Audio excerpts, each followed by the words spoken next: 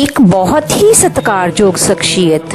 ਹਰ ਵਰਗ ਲਈ ਸੱਚੀ ਹਮਦਰਦੀ ਰੱਖਣ ਵਾਲੇ ਅਤੇ ਹਰ ਵੇਲੇ ਪਰਮਾਤਮਾ ਦੀ ਰਜ਼ਾ ਵਿੱਚ ਰਹਿਣ ਵਾਲੇ ਇਨਸਾਨ। ਸਰਦਾਰ ਅਮਰੀਕ ਸਿੰਘ ਕੱਕੜ ਜੀ ਆਪ ਹਮੇਸ਼ਾ ਹੀ ਸੱਚ ਦੇ ਰਸਤੇ ਤੇ ਚੱਲੇ ਅਤੇ ਸਭਨਾਂ ਨਾਲ ਹੱਸ ਕੇ ਬੋਲਣਾ ਆਪ ਜੀ ਦਾ ਸੁਭਾਅ ਸੀ ਆਪ ਹਰ ਕਿਸੇ ਦੇ ਦੁੱਖ ਦਰਦ ਵਿੱਚ ਸਹਾਈ ਹੁੰਦੇ ਸਨ ਆਪ ਜੀ ਬਹੁਤ ਹੀ ਚੰਗੇ ਸੰਸਕਾਰਾਂ ਦੇ ਧਾਰਨੀ ਇਨਸਾਨ ਸਨ ਅਤੇ ਆਪ ਜੀ ਦੇ ਚੰਗੇ ਸੰਸਕਾਰ ਅਸੀਂ ਆਪ ਜੀ ਦੇ ਬੱਚਿਆਂ ਵਿੱਚ ਵੀ ਵੇਖ ਸਕਦੇ ਹਾਂ ਸਰਦਾਰ ਅਮਰੀਕ ਸਿੰਘ ਕੱਕੜ ਹੁਣਾਂ ਦੀ ਯਾਦ ਵਿੱਚ ਇੱਕ ਧਾਰਮਿਕ ਸਮਾਗਮ ਉਹਨਾਂ ਦੇ ਸਮੂਹ ਪਰਿਵਾਰ ਵੱਲੋਂ ਹਰੀ ਕ੍ਰਿਸ਼ਨਾ ਰਿਜ਼ੋਰਟ ਜਲਾਲਾਬਾਦ ਵਿਖੇ ਕਰਵਾਇਆ ਗਿਆ ਜਿਸ ਵਿੱਚ ਵੱਡੀ ਗਿਣਤੀ ਵਿੱਚ ਉੱਚ ਸ਼ਖਸੀਅਤਾਂ ਨੇ ਸ਼ਿਰਕਤ ਕੀਤੀ ਪੇਸ਼ ਹੈ ਇਸ ਧਾਰਮਿਕ ਸਮਾਗਮ ਦਾ ਵਿਸ਼ੇਸ਼ ਪ੍ਰਸਾਰਣ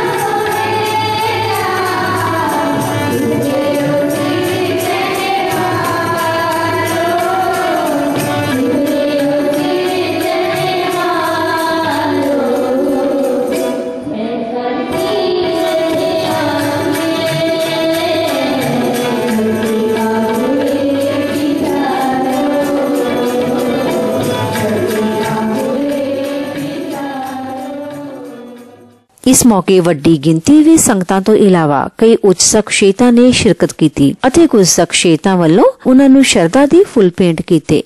ਜ਼ਿੰਦਗੀ ਦੇ ਖੂਬਸੂਰਤ ਚਮਨ ਦਾ ਸੋਹਣਾ ਗੁਲਾਬ ਅਚਾਨਕ ਸਾਥੋਂ ਵਿਛੜ ਗਿਆ। ਜ਼ਿੰਦਗੀ ਦੇ ਚਮਨ ਦਾ ਖੂਬਸੂਰਤ ਗੁਲਾਬ ਅਚਾਨਕ ਸਾਥੋਂ ਵਿਛੜ ਗਿਆ। ਨੀ ਮੋਤੇ ਗਾਲ ਕੇ ਤੈਨੂੰ ਕੀ ਪਤਾ ਸੀ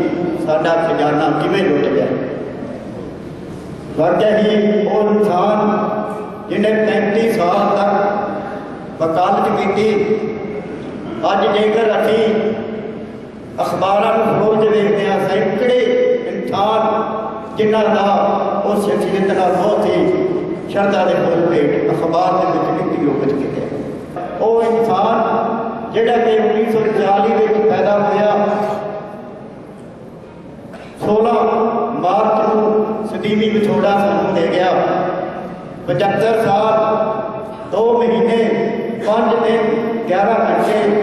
وہ اپنی زندگی کے سفر طے کر کے ساتھوں بچڑ گئے اس انسان کو ابھی سجدہ کرتے ہاں کہ انہوں نے اپنی زندگی میں سنگرش کیتا ہے ہر ایک این جی او آج جے کر اسی سبارہ حروف کے ذریعے کوئی انسان اجے آدھی جنہیں شکل انہوں نے پیش نہیں کیتے میں نے کافی سال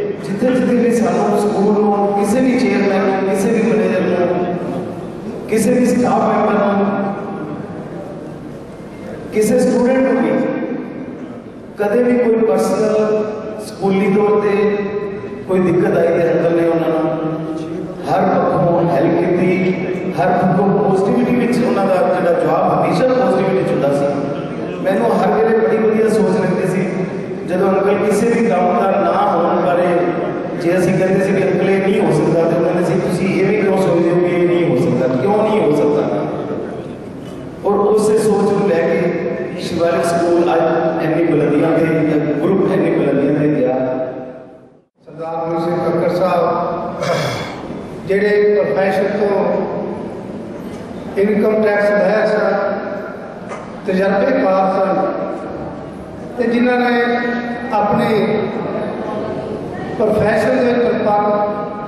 ਹੋਣ ਦੇ ਨਾਲ ਨਾਲ ਸਮਾਜ ਸੇਵੀ ਸੰਸਥਾਵਾਂ ਦੇ ਵਿੱਚ ਵੀ ਇਹਨਾਂ ਨੇ ਬੜਾ ਵੱਡਾ ਯੋਗਦਾਨ ਪਾਇਆ ਜਿਸ ਤਰ੍ਹਾਂ ਮੇਰੇ ਤੋਂ ਪਹਿਲਾਂ ਬੋਲਣ ਵਾਲੇ ਵੀਰ ਨੇ ਦੱਸਿਆ ਕਿ ਸ਼ਿਵਾਲਿਕ ਸਕੂਲ ਦੀ ਸ਼ੁਰੂਆਤ ਕਰਨ ਵਾਲੇ ਐਜੂਕੇਸ਼ਨ ਨੂੰ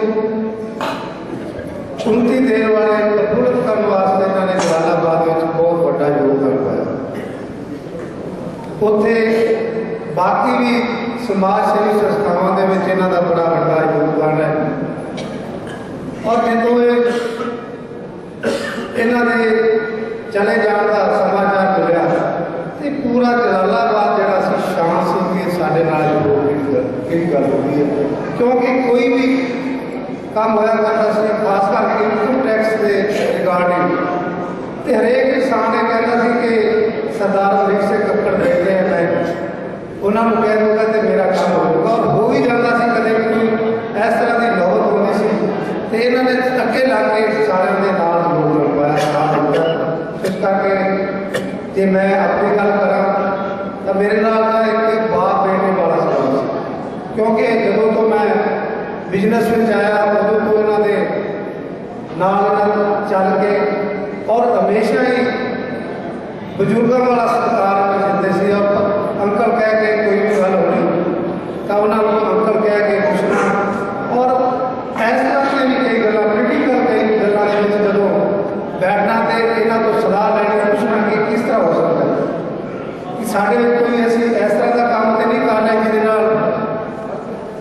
نقصان ہو ساتھ میڈیکل نقصان ہونا نے وہ سلاح دیتی جس کو میں سمجھ سکتا کہ کوئی نقصان لے سکتا ہے سب بہت بہت دنواد واحب جی کا خالص